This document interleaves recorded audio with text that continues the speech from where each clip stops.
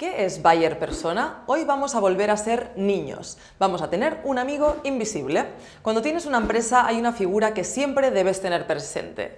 Tu cliente ideal o Bayer Persona. Imagínatelo mirando por encima del hombre diciendo, ajá, esto sí que me interesa o, qué pereza, esto no lo voy a comprar en mi vida. Buscar la aprobación de tu buyer persona es la base para tomar cualquier decisión empresarial que valga la pena, porque si no conoces a tu público, ¿cómo vas a llegar a él?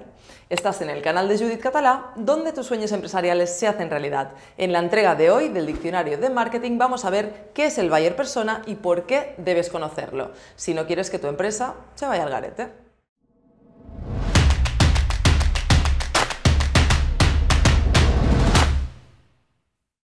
El buyer persona es un término en inglés, aunque persona viene directamente del latín en realidad, y buy es comprar. Buyer persona, persona que compra. El buyer persona es tu cliente y necesitas conocerlo muy bien si quieres que tu negocio funcione.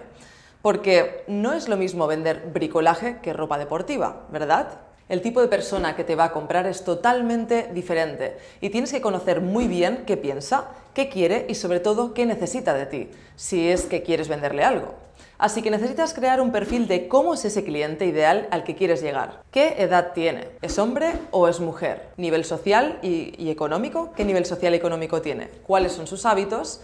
¿Qué le preocupa? ¿Cuáles son sus problemas o miedos? ¿Qué desea? ¿Cuáles son sus objetivos y necesidades? ¿Por qué le interesa lo que le ofreces? ¿Qué pegas puede ponerle, que puede ponerte a ti antes de comprar?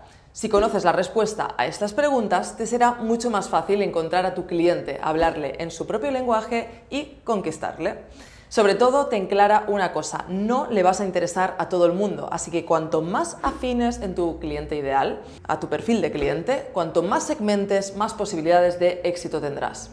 Conocer a tu buyer persona es como tener un amigo invisible que te acompaña en todo lo que haces. Cuando tienes que tomar cualquier tipo de decisión empresarial, planteate antes qué opina tu buyer persona, qué es lo que tu cliente ideal espera de ti y cómo vas a dárselo. Y ya está, acabamos de sumar Buyer Persona a nuestro diccionario de marketing. Si quieres ver de qué más he hablado en los vídeos anteriores, tienes la lista completa justamente aquí. Y para no perderte nada, puedes suscribirte a mi canal en este botón de aquí abajo y así te aviso en la próxima entrega del diccionario de marketing.